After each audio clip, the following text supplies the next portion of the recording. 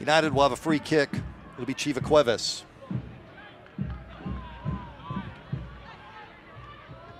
On the box, in the back of the net. Score! Score! United!